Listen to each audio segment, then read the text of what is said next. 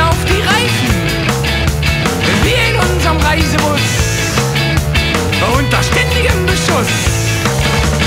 Mittagessen, Kaffee, Kuchen. Und danach zum